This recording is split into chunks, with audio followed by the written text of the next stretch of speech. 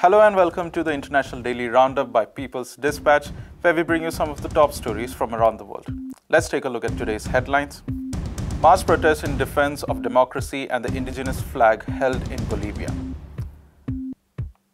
Protests for democracy and free education spread across schools in Swaziland. At least 10 migrants killed and thousands detained in violent raids in Libya.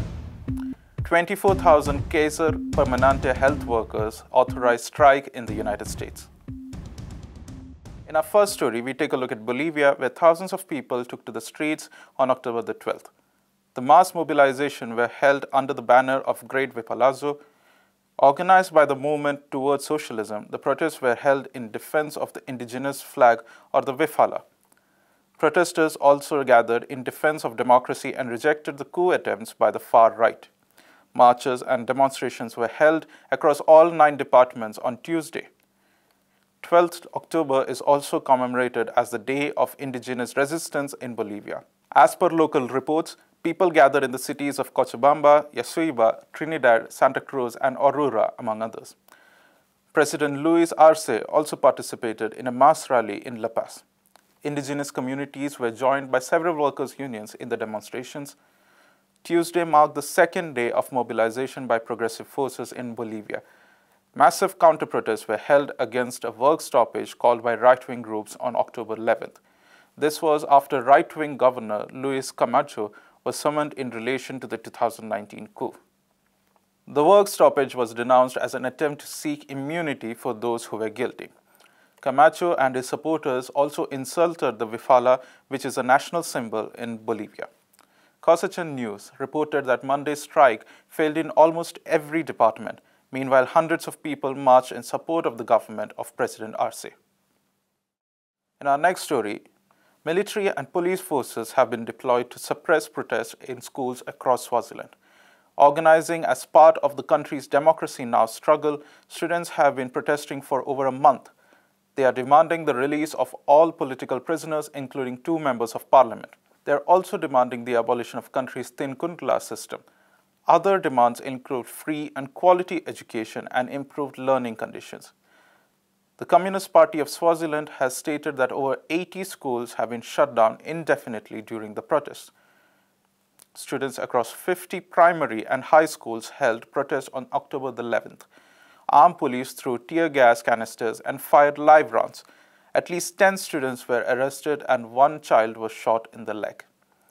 Armed police entered the John Wesley and MDS schools again on October the 12th. The ongoing protests in Swaziland schools are part of the wave of protests which began in the country in May. Protesters are also demanding an end to the absolute rule of King Mswati III.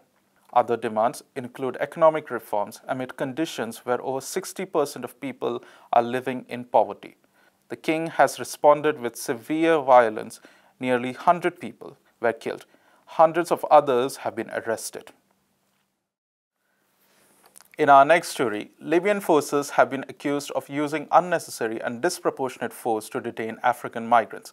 Over 4,000 migrants were detained in a widespread crackdown earlier this month.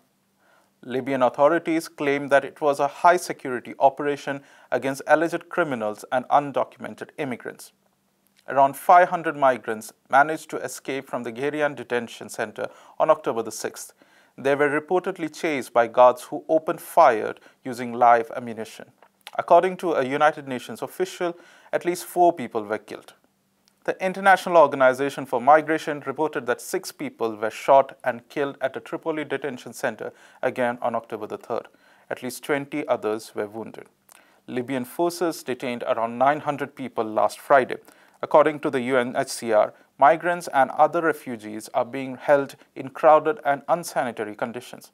Hundreds of people have gathered at a United Nations office in Tripoli in recent weeks. Most of them are asylum seekers with pending claims seeking help to leave the country. Migrants from sub-Saharan Africa make their way through Libya to try and reach Italy. United Nations officials have also said that Libyan forces have expelled people to the region without due process. And for our final story, we go to the United States, where over 24,000 health workers are set to go on strike. workers employed by Kaiser Permanente in the states of Oregon and California have authorized the action.